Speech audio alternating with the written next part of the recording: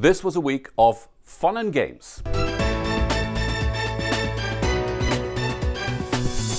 Ooh la la, c'est reparti! France is back at its favorite national hobby, striking. The Président sauntered off to his own little game of tennis, what with Roland Garros right around the corner. Now, we can't wait to see who gets the upper hand on this one. Speaking of picking up the ball, China played its wild card and went in for an ace by imposing tit-for-tat trade tariffs. If you see trade as a zero-sum game, you'd better make sure your serve is better than your opponent's backhand. But in the trade game, there is no such thing as a tie break. It might just end up in a lose-lose situation. Another forehand.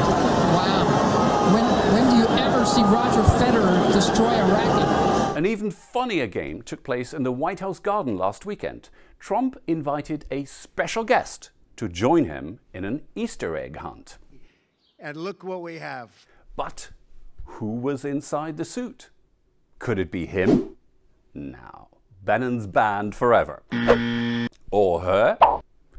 Nah, she was a different kind of bunny. We put all our eggs in the same basket. We bet it was him.